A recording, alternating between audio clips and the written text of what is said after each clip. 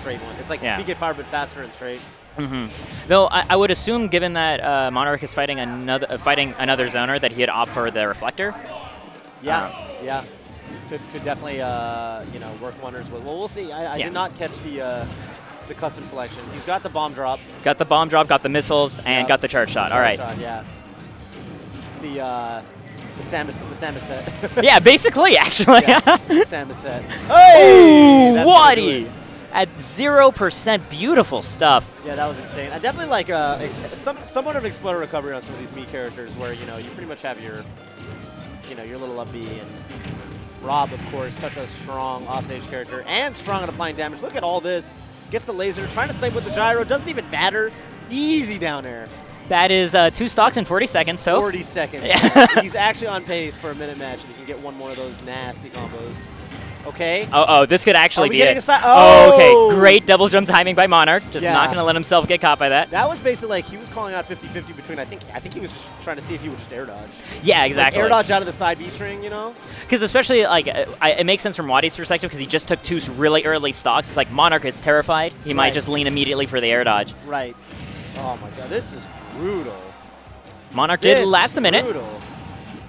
Yeah, and of course, like you know, you want to be able to edge guard Rob, but it's it's just not going to happen. It's- just not going to happen. That up air, right? That's the question you have to answer before you even like start the game against Yeah. Rob. Is how am I going to hit him when he's coming up from the lower recovery? Because if you try to challenge him directly, most characters can't outrange that move. Yeah. And as you can see, you'll actually just die or get stage spiked. I mean, with Mii Gunner, if you're probably running this custom set, I mean, I, I feel like the thing to do is just drop some bombs on him. Yeah, right? drop- Like, uh, just keep it safe. Of course, you're feeling a little bit of the pressure when you're down one stock to three. He's straight to Palu.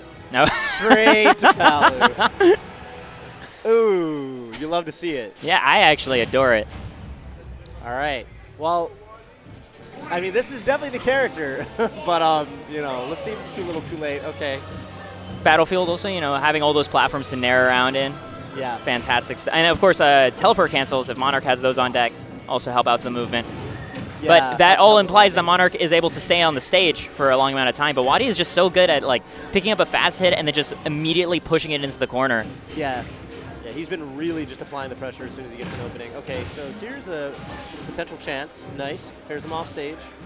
Not really like doing the best job of playing around the gyro, I gotta say. Mm. Um, you know, you mentioned having a reflector. Well, Palu has one, so that's always going to be a possibility. That's the side B though, catching him off the gyro. The hit confirmed. That was beautiful.